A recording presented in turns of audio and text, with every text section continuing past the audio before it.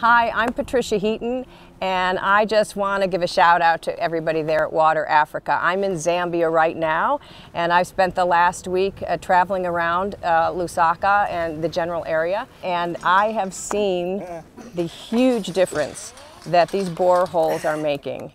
It is incredible, and I want you to know that your sacrifice and your compassion is making a huge difference in Africa.